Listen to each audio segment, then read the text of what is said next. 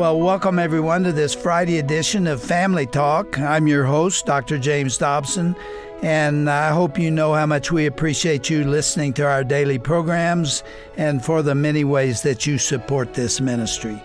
One of my greatest concerns is with regard to the next generation that's coming along behind us. I'm talking about the children.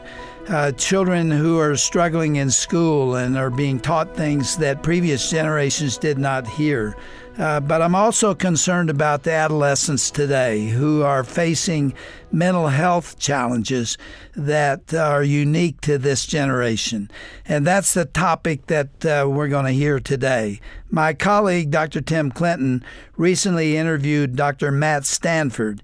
Uh, he is the CEO of the Hope and Healing Center and Institute in Houston, Texas. Dr. Stanford also serves as an adjunct professor of psychiatry at Baylor College of Medicine and Houston Methodist Hospital. Their conversation today is going to focus on those uh, challenges that teenagers experience and what can be done to properly care for and love them.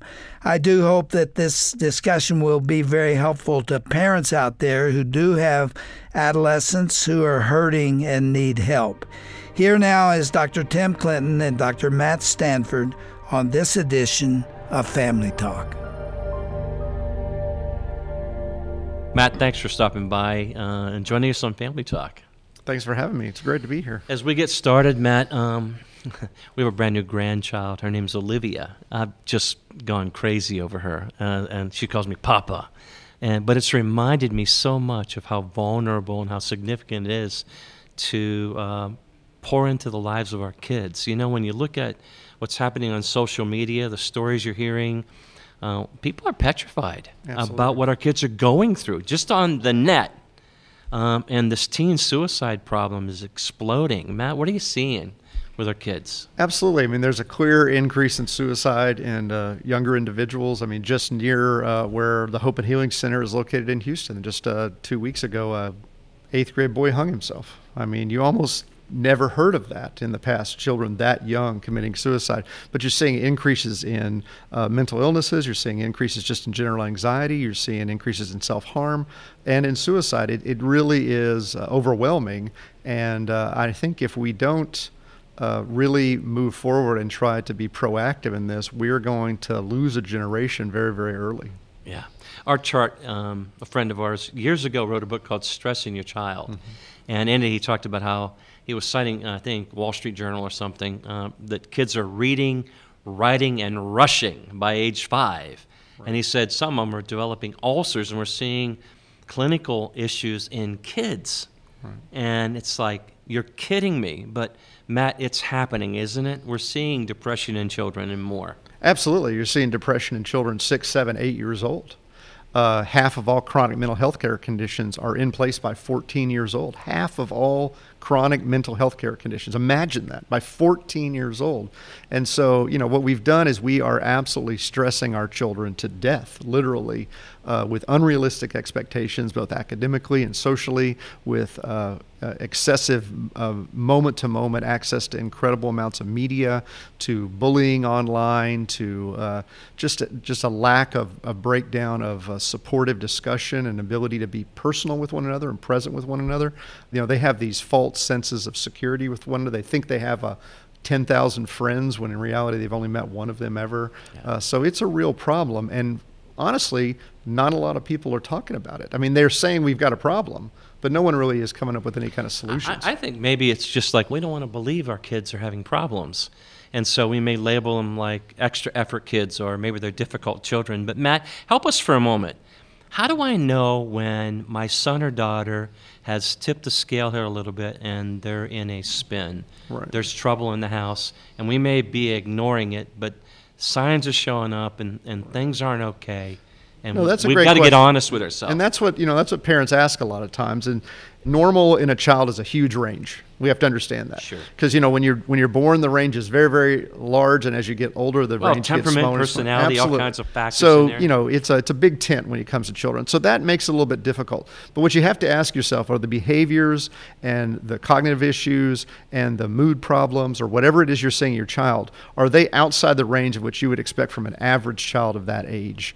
Uh, is the child able to deal with stress appropriately and with these? Are they able to come up with working with you with coping strategies and able to overcome them? And then what is their functionality? Are they actually able to get through a day of an average, say, eight year old child?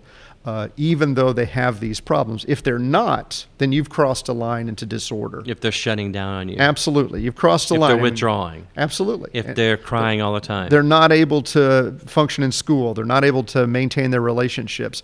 Exactly. They're they're clingy. They're weepy. They're they're doing things that are different than an average child who say is under some stress.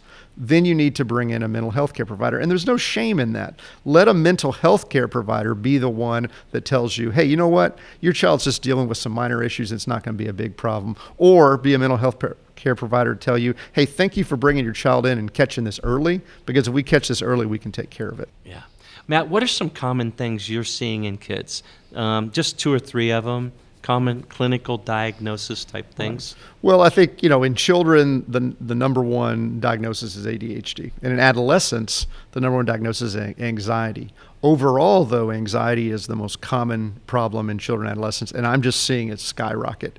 You're just seeing more and more children being brought in that are struggling with anxiety issues. I, I know you're saying our kids are under pressure, but what do you think really is tripping the switch here? Yeah, I think it's a couple of things. Number one, I think we have unrealistic academic and societal expectations for children way too early. So, an example I give a lot of times is, you know, I'm 53 years old. When I went to kindergarten, which at that time was an option, my, you know, my parents' friends thought they were odd that they sent me to kindergarten. There was no expectation that I would be able to read when I came out of kindergarten. It was just colors and shapes and fun. And, Sure. you know, nowadays when a child, I've literally seen children coming out of kindergarten that if they weren't reading at a certain level, they were labeled as learning disabled.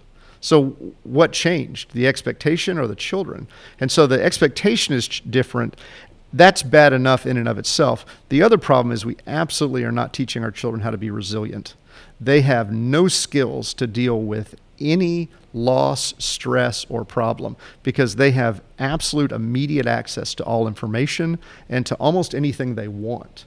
The smallest thing occurs, and they completely fall apart. They're unable to deal with stress. And you know, and I'm not some get on a soapbox about the the infamous uh, participation trophy, but uh, you know, within certain uh, range with appropriate support, it's an important thing for children to learn how to lose. It's an important thing for children to learn how to deal with stress.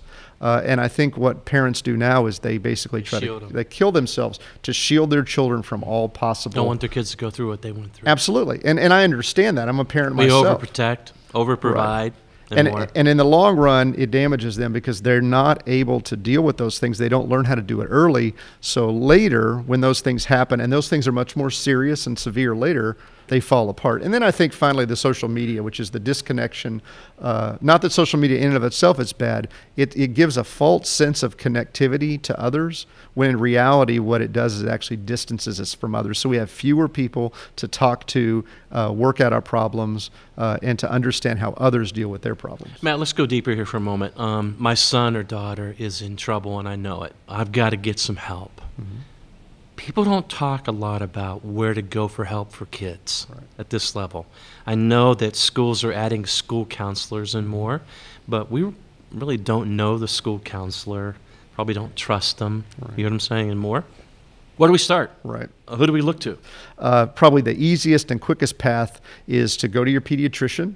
Uh, talk to your pediatrician about the the mental health issues that your child is having, and ask the pediatrician if they can help you get into a child psychologist and or a child and adolescent psychiatrist. You want to take your children and your adolescents to individuals that have been trained in child and adolescent psychology and psychiatry. It's just like if you had a cardiac problem, you go to a cardiologist. You want to go to someone who's trained to work with individuals that of that age, especially with a psychiatrist, because if medication comes into play, you want to make sure you have somebody that understands children. Exactly. And the work that's been done, the very little work that's been done with psychiatric medications in children, little children are not just small adults. They're different. The way their mental illnesses manifest are different. The way they should be treated is differently. And, and I would say this there is hope. With proper treatment, it's like any other kind of condition. If caught early, uh, it can be managed and dealt with. Yeah. Matt, uh, one of the things that I, I was reminded of in grad school when we were studying kids was a lot of counselors apply adult models of psychotherapy or help uh, on the kids, and that's not the way Absolutely. you work with kids. Not at all. You hear people talk about the word play therapy.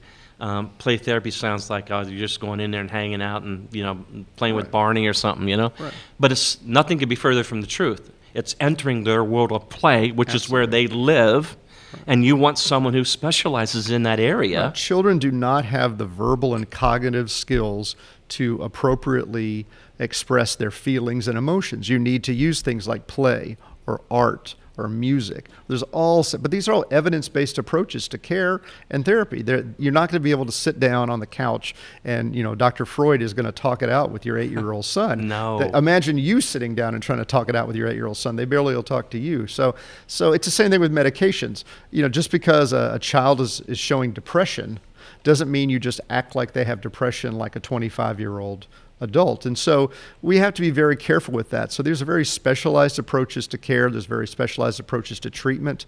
Uh, you know, we haven't even really brought into the mix here the ideas of uh, things like neurodevelopmental disorders, like autism. I mean, there's a lot of things going on here that early on can mimic and look like one another, and they really have to be teased out. You really have to have an expert. So again, I would recommend that they start with the pediatrician, not because they're going to necessarily provide the care, but they should have the connections to the individuals to get them to the care they need. You're listening to Dr. James Dobson's Family Talk. I'm Dr. Tim Clinton, your host. Our special in studio guest today, good friend, uh, and by the way, an expert, uh, Dr. Matt Stanford. He's the CEO of the Hope and Healing Center Institute in Houston, Texas, adjunct professor of psychiatry at the Baylor College of Medicine, and the Methodist Hospital Institute for Academic Medicine. Uh, he uh, has a brand new book out, you all, and uh, it's really significant. His book is called Grace for the Children Finding Hope in the Midst of Child and Adolescent Mental Illness. Man, what a gift to us. Uh, by the way, if you're struggling today, if you need a word of encouragement, always uh, encouraging our listeners to go up to um, our website, drjamesdobson.org, or call us toll free, 877 732 6825. Matt, I want to come back to um, a controversial subject, and that is kids in medicine, psychiatric mm-hmm. medication. Matt, what about our kids being on meds? The first thing I'll say that I'll say to anybody that asks me about meds in adults or children, medication's wonderful if you need to take it okay? Right. And you're taking the right medication in the right doses. One of the things you simply have to understand, and one of the things that I even learned is I'm a PhD in neuroscience. I mean, I love medication. I've studied medication. I've done drug trials my whole career. I mean, we do a lot of stuff with that. But even as I was writing that book, I was shocked. Somebody who's been in this this business for 25 years, I was shocked how little research has actually been done on medication in children. There are very few antidepressants that have been studied in children younger than 10.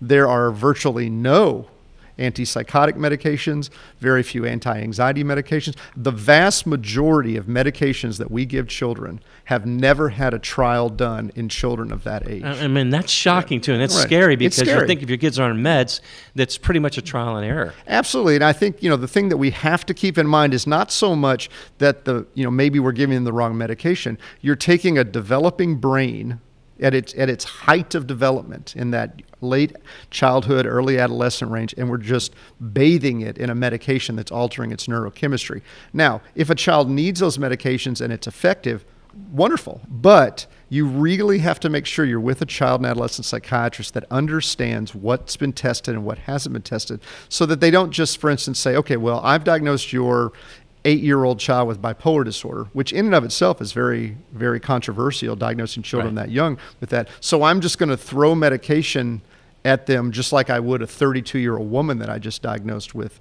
bipolar disorder. You have to pause and ask yourself, how is this going to affect this child's development? Have these medications been tested? What is the cost? What is the benefit? And I think, unfortunately, because our psychiatric care, our psychological care is so insurance driven and driven by reimbursement, and you don't spend a lot of time with your clients, unfortunately, uh, we find that uh, the medications, you know, it's whatever I gave to the adult bipolar is what I'm going to give to the child that has bipolar. You know, Matt, um, Christian psychiatrist uh, Michael Lyles, he and I have had a couple of conversations along this line, and he said, Tim, when it comes to uh, finding a doctor and getting on some type of medication for these type of issues, he said it's important that you find the best Absolutely. psychiatrist. Absolutely. Uh, you want someone who has done their homework, even more than that, but someone who will do good med management. Absolutely. Matt, explain what that means. Good med management. and, and Michael has is spot on with that. And let me tell you, with the first thing that everyone has to understand, the majority of people in the United States, children and adults who take psychiatric medication, receive those medications from a general practitioner or a pediatrician. I know. That is a bad thing. Okay, it's not to say that they don't have the medical. Uh, And some of them might get it right. that. I mean, and- and some and- of them might get it right, and it's certainly a, a great way to begin, and it's a great way to bridge till you have that.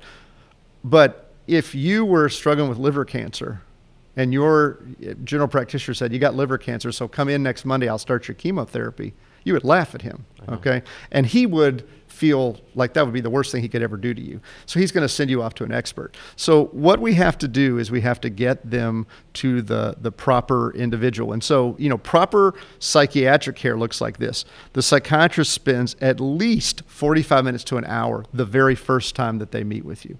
They then follow you up at appropriate intervals after they begin the first medication. So I would say anywhere from two weeks to three weeks the first time you return. Then you're back at a month. Then you're back at two months. And they are giving you some measure of your outcome. They're not just saying, well, how you feeling, Tim? Because remember, we're dealing in this instance, in this hypothetical, with say a 10 year old boy. They're not, you know, they're not going to ask Johnny how he's feeling, or you're not going to look to the parents and go, "What do you think he? How do you think he's doing?" There's an, a real problem, say for instance, with psychostimulants with ADHD. Uh, they're often given at a much too high dose initially, and the parents will report that the child's doing much better. But that's because they're so out of it that they lay on the couch and they don't cause any more problems. So the parents see them as not being a problem, but their quality of life has been destroyed. And so you need to talk to that psychiatrist about how is he or she assessing whether your child is actually getting better on this medication. And the last thing I would say is this are they attentive to your needs in this way? If you have a question about that medication, can you get a hold of that psychiatrist? And how quickly can you get a hold of them? If you have to take your child to a hospital, is that psychiatrist giving you the number of a hospital to go to? And that's the hospital that they're going to be able to see your child at. Being attentive, spending time. It's not that, you know, I heard Dr. Jones is really good, so I go to him, but he only spends 15 minutes with me. But hey, you know what? He's supposed to be the best in town. Well, if Dr. Jones only spends 15 minutes with each one of his clients, and uh, he's the best in town, then you need a new psychiatrist in a new town. I'm with you. Yeah. I'm, I'm tracking with you, Matt, because I've seen this happen. Let's let's stay with the med management piece. In a lot of outcome studies related to like treating depression and more, they talk about medication plus therapy. Mm-hmm.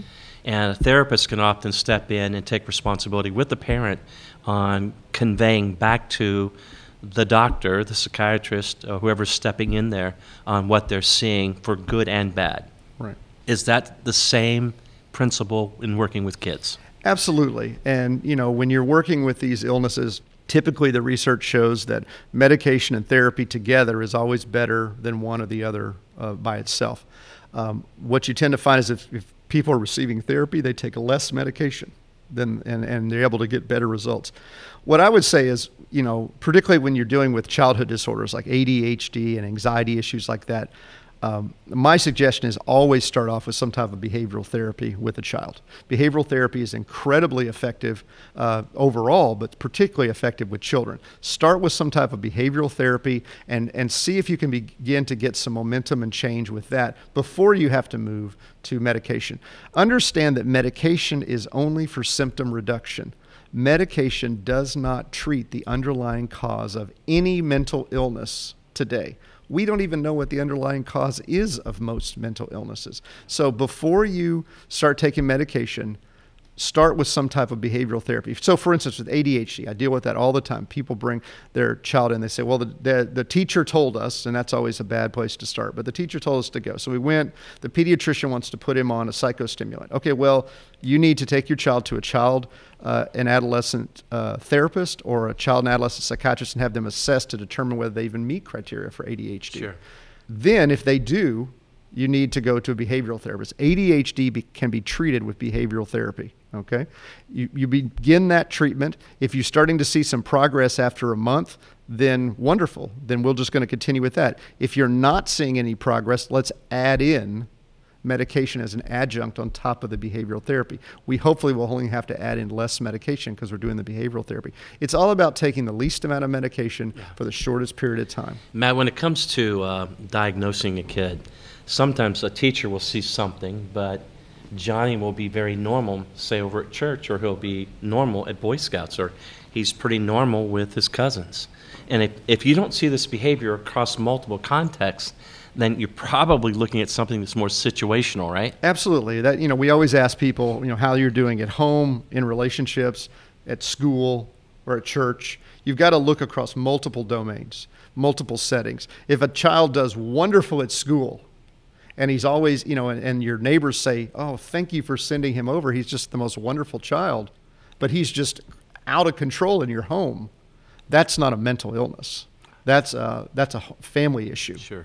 Uh, you know, if he's terrible at school, but he's just an angel and everything else, and he's the lead Boy Scout at Boy Scouts, something's up. Something else is going Something on. Else is up. And so you need to think about that. So if just the teacher comes to you, but you also have to be honest with yourself. I've had uh, parents come to me and say, you know, the teacher says he's just, you know, a real behavior problem, but you know, at home he's just a boy He's just being a boy. Well, be honest with yourself. Is he being an average boy at home, or are you just kind of putting up with more than the average parent would put up with because you don't really want to admit that he might have a problem? Yeah. Matt, um, we're, uh, we're running out of time.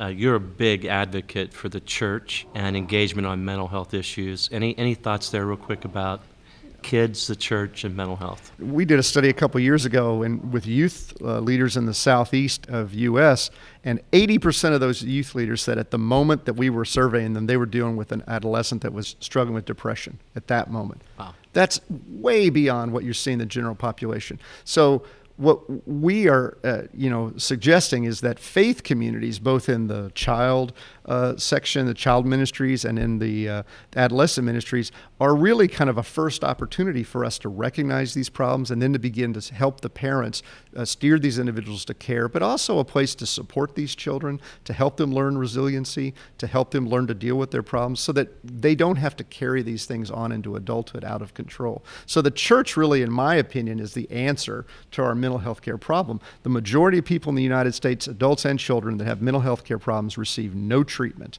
Uh, that's an unbelievable statistic. And we know that adults, for instance, are more likely to go to a clergy when they're struggling with these problems before right. they go to a mental health care provider or physician. So God is sending these individuals to the church. That's not something I found, that's something the National Institutes of Health found. So that's just a fact.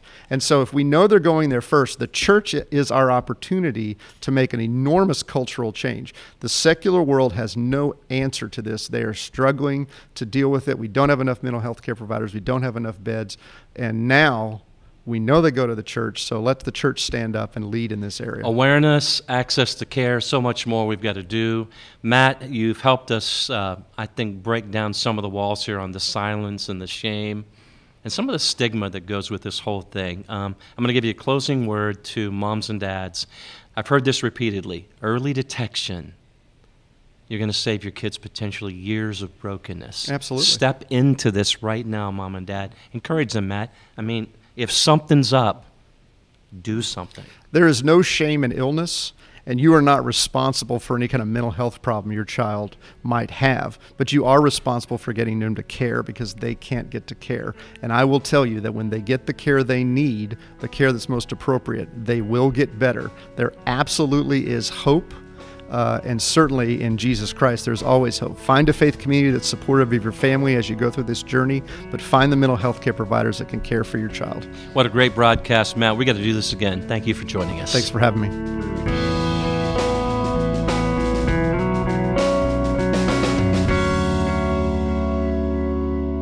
You've been listening to a very thorough and hope driven discussion about the mental health of our young people here on Family Talk. Dr. Tim Clinton has been our host today, and his guest has been Christian counselor Dr. Matt Stanford.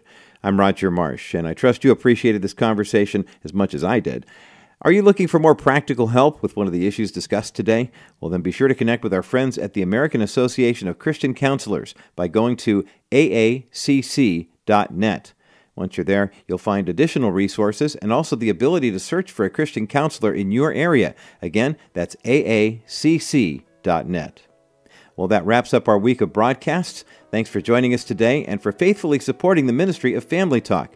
Your generous financial contributions allow us to bring you relevant and timely conversations like the ones you heard this week. Consider how you can partner with us by going to drjamesdobson.org. That's drjamesdobson.org. Or you can learn more by going to the phone and calling 877 732 6825. That's 877 732 6825. Thanks for listening. Hope you'll join us again Monday for another edition of Dr. James Dobson's Family Talk. Until then, have a blessed weekend. This has been a presentation of the Dr. James Dobson Family Institute.